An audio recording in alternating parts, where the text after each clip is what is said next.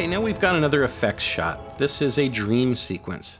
She's dreaming and she dreams that she gets up and this was shot with a slow shutter speed. And she gets up and walks out of the house and weird things happen after that. But let's just look at what we can do with the film styles filters to create this dream effect and this day for night effect.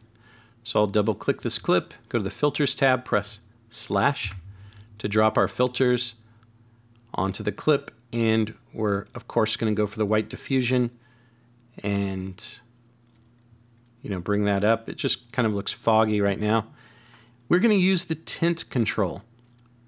And when you turn tint on, it maps shadows to this color, the tint color B, and it maps highlights to tint color A. So we're going to make tint color B black. And we're going to make tint color A, we're going to try to find that just special moonlight. You know, moonlight is blue in movies. It's one of the rules. And so we just want to find that moonlight shade. Okay, so let's say that we found it there. And we need a little more contrast. So we're going to bring our S gamma up. It's just going to help us kind of get a more film-like look. And obviously we want her uh, to be the subject of this frame. We've got all this other stuff in the frame. And so we're going to press Shift slash, drop our 35 millimeter depth of field filter on this. And this time we are going to definitely have to keyframe this mask. So let's just get her laying there and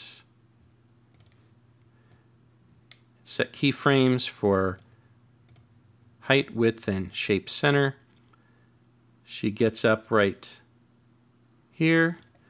So right here we're going to bring the height up and the width down. Move the mask over here.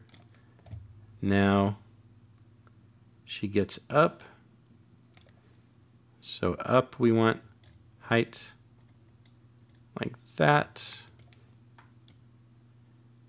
And then she walks through the frame. Got a little bit of panning there.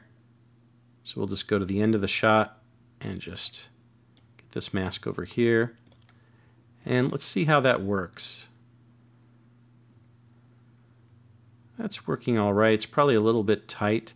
Now, as you go adjusting keyframes, you probably want to hit these last keyframe buttons and adjust on the keyframes. Otherwise, you're just going to end up with tons of keyframes and it's going to be very hard to work with later. That works pretty well. So we've got her in there pretty well. Now we'll bring the feathering back. A lot of feathering. I don't mind the darken. Kind of puts a little glow around her, but if it's subtle, it's all right. And we just want plenty of blur. And now we can head back up here and maybe add a little more gamma, bring the contrast out a little bit, and we can tweak our color, make it a little more bluish, you know, a little more intense blue. We can bring the saturation down a little bit. You know, as an editor, you never know what kind of footage you're going to get. We got this footage, and we are just trying to make the best of it using these Film Styles plugins and get the look that we wanted. Anyway, I think we have a great uh, look here. And once again, remove attributes, filters. There is the original shot. And undo. There is our shot with the film styles filters.